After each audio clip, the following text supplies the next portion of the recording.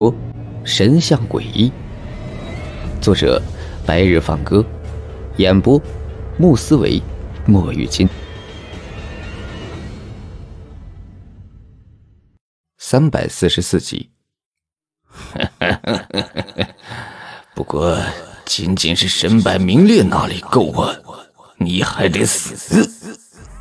说到这里，王永臣的声音里已经充斥着狠辣。那双猩红的眼睛之中，更是充斥着杀意。下一刻，便见王永贞的身体朝着白瑞祥的方向暴掠而来。那生着锋利指甲的鬼掌狠狠地抓向了白瑞祥的脖颈。此时，欧阳老头也是动了，但见他快步朝着白瑞祥的方向跑来，一下子便横在白瑞祥身前，手中镇鬼符猛地拍向了王永贞的鬼掌之上。噌的一声，沉闷的金铁交击之音陡然自撞击点爆发，而与此同时，还带起了一泡亮黄色的光芒。在这次龟掌与符箓的撞击之下，王永臣的阴魂在半空中打了个翻转，而后便稳稳地凌立在了半空里。而欧阳老头则是后退数步，一口殷红的鲜血陡然自其口中咳出，满脸的痛苦之色。这一击对于欧阳老头损伤甚大。再看其手中的镇鬼符，早已是破碎开来。欧阳老头不能调动体内风水气进入镇鬼符之中，不能使这镇鬼符发挥最大作用，所以他才在这一击之下受了如此重的伤，而镇鬼符也是被破坏了。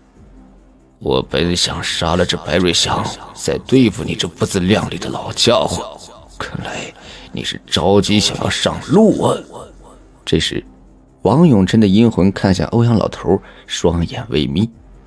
着急上路？哼，上路的还不一定是谁呢。欧阳老头丝毫不让，与王永贞的阴魂针锋相对。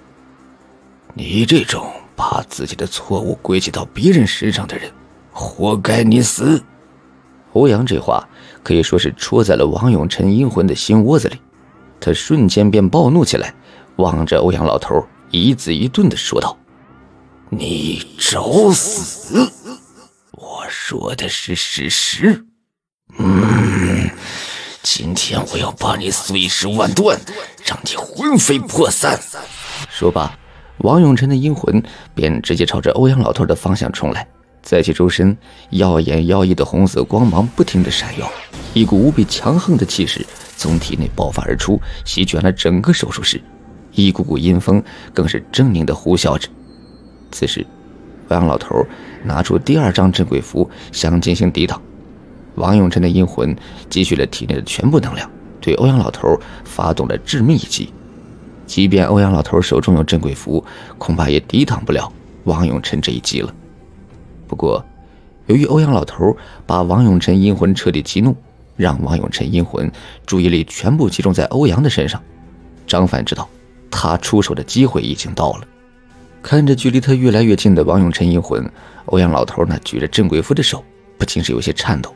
他在心中默念着：“常凡，你可一定要出手啊，要不然我做鬼也不能放过你呀！再不出手，老子可就坚持不住了呀！”此时，王永臣阴魂已经距离欧阳老头不足一米，张凡终于动了，但见。他双脚狠狠一蹬地面，身体宛如一头猎豹一般，朝着王永臣阴魂的方向扑去。那裹挟着浑身真气的拳头更是顷刻间砸向了王永臣阴魂的肩膀。张凡的实力可是行迹境一段，也算是迅疾如风了。他的速度在王永臣阴魂的两倍有余。当王永臣阴魂反应过来，张凡的拳头已经距离他肩膀不足五公分了。下一刻，便狠狠砸在了王永臣阴魂的肩膀上。一声闷雷般的炸响，陡然自王永臣阴魂之上传出，他的阴魂也是顷刻间被抛飞。一声惨烈的哀嚎之音陡然自王永臣阴魂的口中传出。他虽然并没像人体那样砸在墙壁之上非常惨烈，但能看到从他肩膀开始，继而是整个身躯快速的虚晃起来，宛如是一团薄薄的水汽一般，表情无比痛苦，凌厉在半空里。你，你坏我好事，毁我道行，你，你该死！王永臣阴魂一字一顿地说着，声音之内充斥着无与伦比的愤怒。虽然愤怒，但他却并未对张凡出手。在张凡这一记重拳之下，王永臣的阴魂虽然没散，但是却损了将近九成的道行。这道行一损，精神战斗力还是物理战斗力都是十不存一了。张凡和欧阳老头体内的玄门之气虽然并不能调动，但是却可以在体内随意游走。凭借王永臣阴魂如今的道行，将体内魂气打入张凡和欧阳老头体内，根本掀不起什么风浪了。物理战斗力那就更加不用说了，张凡可是行气境一段的强者呢。等我魂体复原，我便去找你报仇，杀了你，杀了你们全家。说罢了，这王永成阴魂便想扎入楼板里，想要逃离。无论是白瑞祥还是欧阳，脸上都浮现出了一抹焦急。几乎是异口同声的说道：“千万别被他跑了。”张凡的脸上却是异常的平静。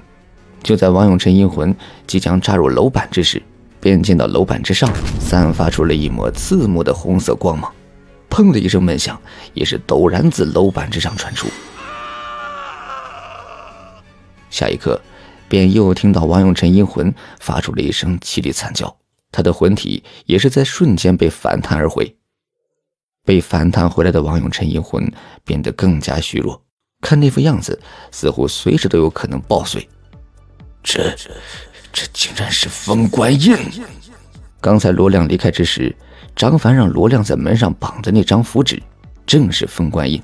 张凡就是担心他一击不能把王永成的阴魂打散，用来防止王永成逃走的。这房间有封官印又能如何？我隐藏我的物理战斗属性，你体内玄门之气不能外散，这封关印只能封我一个小时，时候我一样可以逃走，你能拿我怎么办？本集播讲完毕，感谢您的收听，喜欢的话，请记得点赞留言。